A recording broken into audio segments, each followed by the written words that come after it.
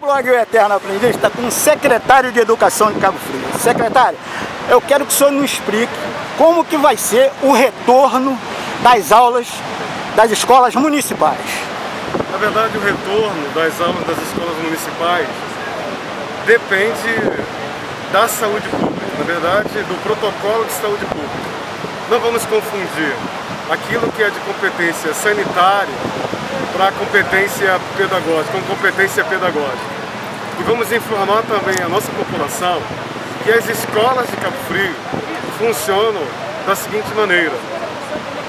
As escolas encontram-se fechadas, funcionando apenas às terças e quintas, de 8 às 13 da manhã, apenas para entrega de documentação necessária solicitada pelos alunos através de seus responsáveis e seus pais.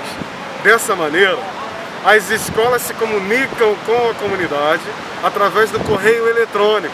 A partir de então, a própria escola formaliza o documento e a entrega fica sendo sempre nesses dias, terças e quinta, das 8 às 13 horas. Não existe convocação, não existe convocação para os profissionais das escolas públicas de Cabo Frio trabalharem dessa maneira extensiva como tem sido divulgado. E a presença dos estudantes vai ser obrigatória ou é opcional? Os pais, os pais vão poder é, é, negociar a vinda deles ou não, ou vai ser obrigatória? Na verdade, a previsão de volta às escolas, aí eu volto a repetir, ela depende quase que exclusivamente da condição dos das condições dos protocolos de saúde. E mesmo que ocorra uma possível volta presencial, os responsáveis e os alunos maiores têm a possibilidade de escolha frequentar ou não as unidades escolares.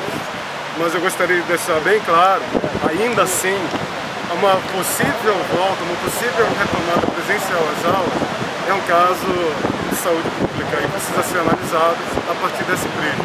Sempre ao lado da ciência, sempre ao lado daquilo que a ciência nos determinar como caminho para a abertura das nossas escolas. Secretário, muito obrigado, hein?